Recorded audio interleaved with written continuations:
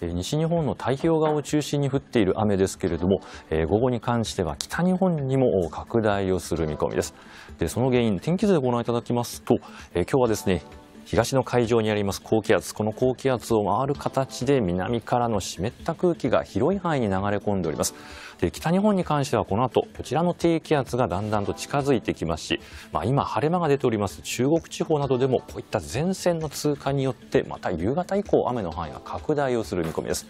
で現在の状況をご覧いただきましょう、えー、この時間は雨雲としてまとまっているのが北日本の日本海側ですね。そしてもう一つが西日本の太平洋側となります。で、その他、ちら、雨は降っているものの、まだ晴れ間の出ているところもあります。東日本に関しては、この後午後も晴れ間の出るところあるんですが、にわか雨、これにはお気をつけください。でこの後の雲の動きです、えー、こちら北日本に関しては太平洋側の方にも順次雨雲が拡大をしていきます。また西日本についても太平洋側を中心に雷を伴った強い雨お気をつけください。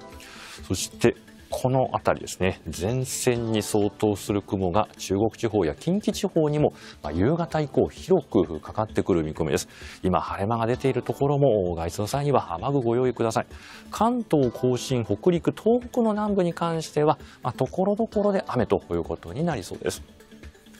最新の気象情報についてはお天気アプリウェザーニュースでもご覧いただけます。